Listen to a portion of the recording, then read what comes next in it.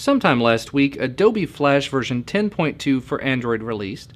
So I thought I'd show you the upgrade process here on the Droid X and some of the performance differences when trying to play Flash content. So let's go ahead and get started.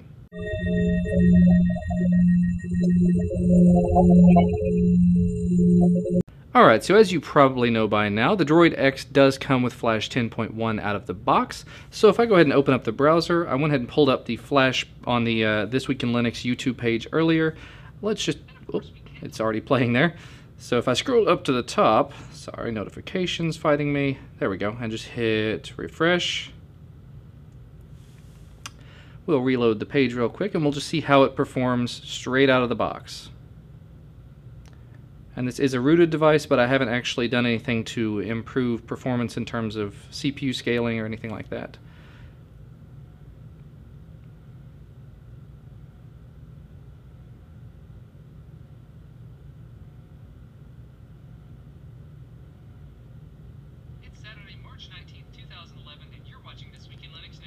Alright, so you can see there it is play playing. It's a little bit jerky, but it does definitely work.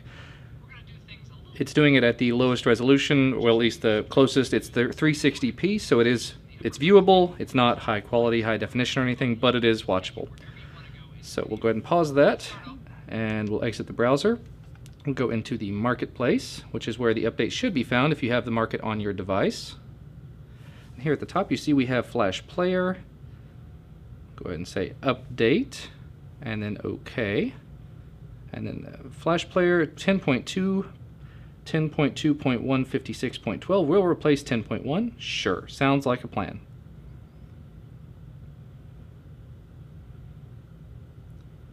It is a 4.24 megabyte update, so if you have slower internet connection, it might take a little while. I'm hopefully running on about 20 megs a second, so it shouldn't be a big deal here.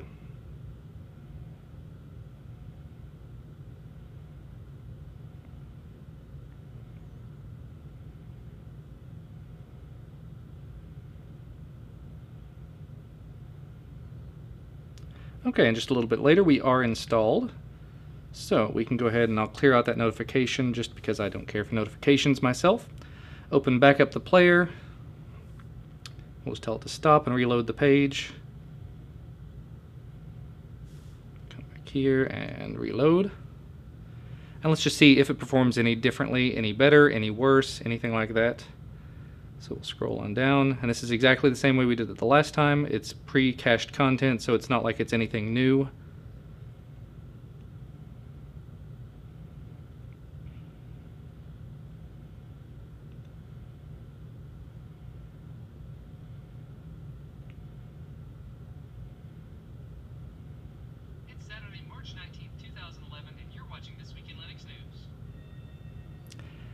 So far, no major difference. It does look like it's playing a little bit more smoothly.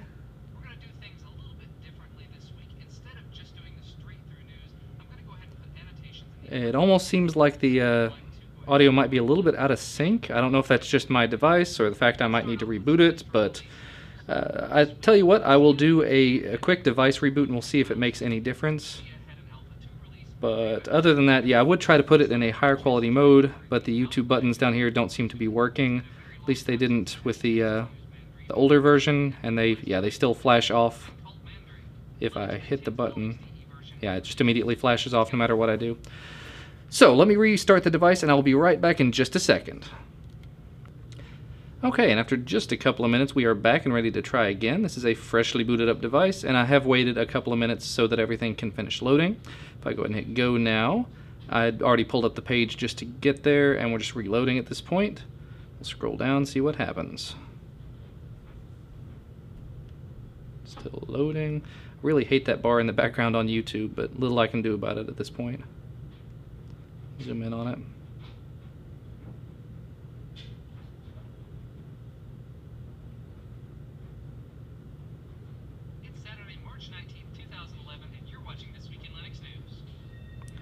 Well, the video is definitely a lot less jerky than it was on 10.1.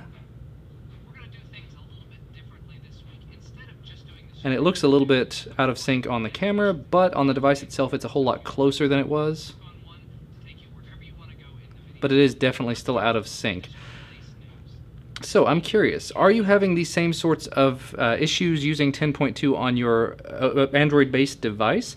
If so, let me know in a comment below. If you're not, let me know again in a comment below. I'm just curious to see if this is just me, if it's something to do with the, the Droid X in particular, if it's something I'm doing wrong, if maybe I need to just uninstall and reinstall the update. I don't know. Let me know how Adobe Flash 10.2 is working for you on your Android-based device.